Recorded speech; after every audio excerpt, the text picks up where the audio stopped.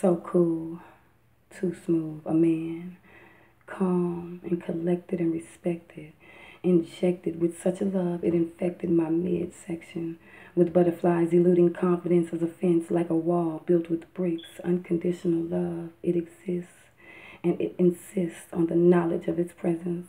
You will know I love you with evidence, proof that aloof was never the case. The division of a fence between you and my mother's place, but in regards to me and my brother, that fence was erased. The embrace of a father is by far the best cradle, most stable. It enables your pride. This is I, because of you, because of life, and after death, I still praise you, like my father that made you like those prayers that saved you and bought us time, extra time, that seemed so fundamental. I didn't think it was so essential. I thought we'd have more time down the line. You never lashed me and never bashed me when my potential was compromised by bad decisions, and I apologize for not progressing within that time to show you me before you died.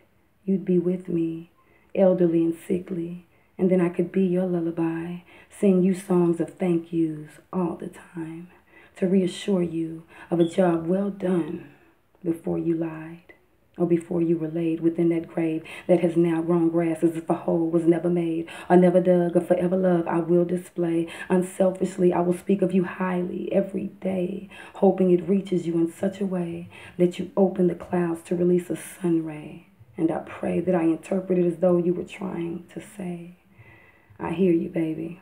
I know it, baby. Don't worry, baby. We okay.